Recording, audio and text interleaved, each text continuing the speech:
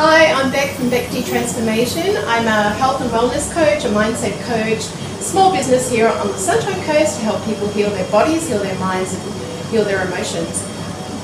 Hi, I'm Kim from Cuba Street, Coffee Roasters in Marcoola. Tuesday, the 12th of March. We'd love to see you here. It's just one hour, 7am to 8am. Tuesday, 12th of March, here at Cuba Street Coffee Roasters. Love to see you, love for you to join us, and let's see what we can network together and how we can all come together to improve our businesses, improve our standing in the community, and work effectively as small business owners. Last month we had a meeting of the minds with local business owners. Yes, so we thought we would launch a small business meetup, and we had our first one last month. Now we're kicking off another one. Um, what's come of that is some amazing, some amazing things. One of the challenges I faced as a small business owner um, was dealing with staff. I've got 14 staff, how to communicate effectively.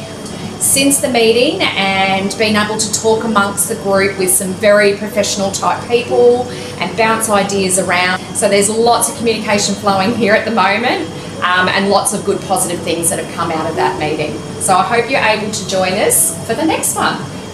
March the 12th, Tuesday, March the 12th, 7am to 8am we had six people come to our first launch in February and beautiful things have come from that. Great things have come from that from everyone who attended. So we'd like to see you here. Come down and say hi, come and join the group, even if it's just to sit and have a chat, a friendly chat amongst some professionals who have lots of life experience behind them. So come and join us. We're kicking off every second Tuesday of the month. Lots of support, Come down and say hi. We'd love to see you. Love to see you. Come down and say hi.